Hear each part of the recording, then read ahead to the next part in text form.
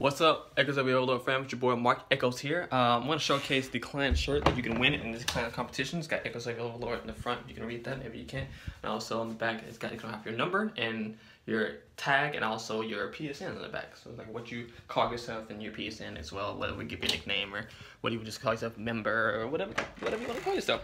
And I said that a bunch of times, but I'm not to record this video. Here we go. Re-record, excuse me. So the competition. I'm gonna have a PvP one. I'm gonna have a PvE one.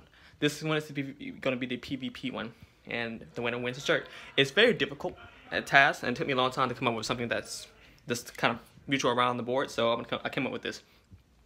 In a PvP PvP match, you have to get all four of your opposing enemies, like your people that you're trying to kill, to uh, sit down with you or dance with you, one or the other.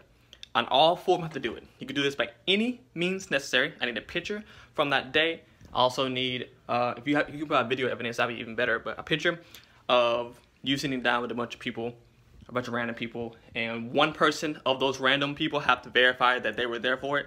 Just one person has to be like, yeah, it happened, because uh, I didn't need to make sure you didn't, didn't just grab a picture off the internet and, you know, gotta make sure somebody sends me, somebody who is also in the picture with you, whose gamer name tag, excuse me, PSN tag is also seeable inside the picture, sends me a a message along with you saying, oh yeah, this is real, this actually happened.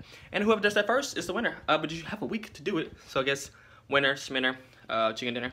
Anyways, um, if you have any questions, contact me via PSN or the clan chat. Anyways, peace out. Have a great time. Good luck, team.